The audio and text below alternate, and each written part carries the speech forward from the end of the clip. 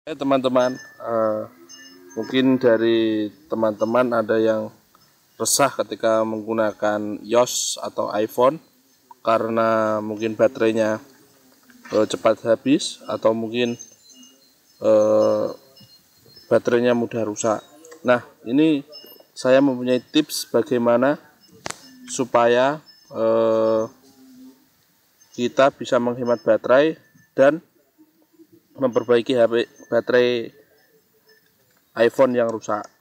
Nah, untuk menghemat baterai yang bisa dilakukan yaitu yang pertama adalah ketika internetan kita menggunakan uh, WiFi tanpa datanya dimatikan itu salah satu untuk menghemat baterai.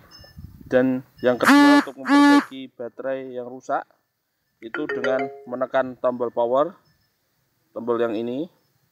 Kemudian tombol home button secara bersamaan. Lihat.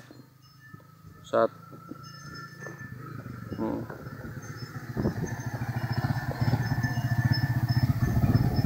sampai muncul logo iPhone. Nah sekarang sudah tunggu.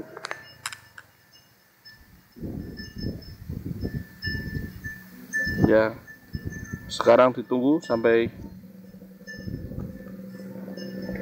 nah ketika sudah dilakukan uh, hal seperti ini tapi masih masih tetap boros berarti baterai iPhone Anda memang perlu diganti. Sekian video tutorial dari saya. Terima kasih atas waktunya. Salam